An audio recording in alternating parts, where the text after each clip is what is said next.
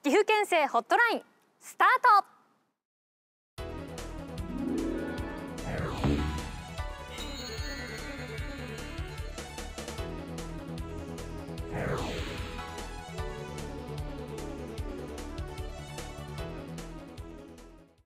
皆さんここは一体どこだと思いますか？そうそう本がたくさんあるよね。正解は岐阜県図書館です。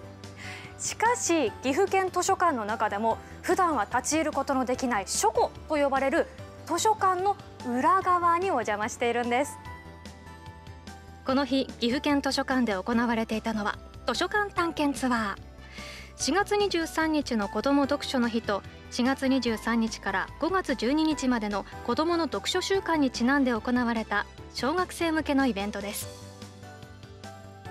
図書館で大切に保管されている古地図などの貴重な資料を特別に見ることができるほかおよそ80万冊の本を収納している書庫や新しい本の中からどの本を図書館の本棚に並べるかを選ぶ選書室と呼ばれる部屋など図書館の裏側を探検できる企画です。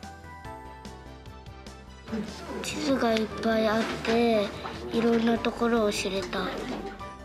たくさんの本をしまえるように通路の幅を狭くしたりそういう工夫もあるんだなというのを発見しました。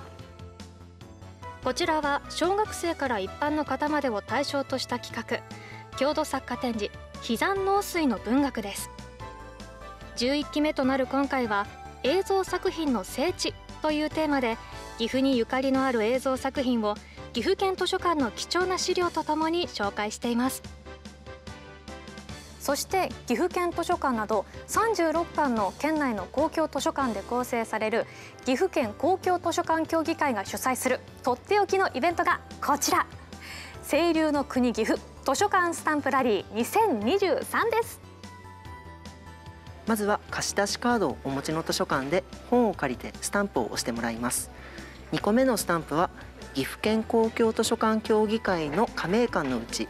リーフレットに載っている図書館を訪れる。または本を借りてスタンプを押してもらいゴールとなる3個目のスタンプは貸し出しカードをお持ちの図書館で本を借りて押してもらってください。へえ。スタンプを3個集めると先着でオリジナルグッズがもらえるんだって。挑戦しなきゃね。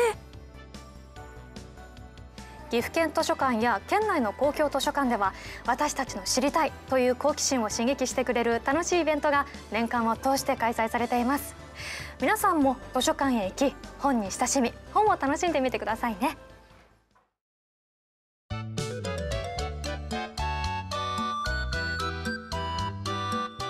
次回も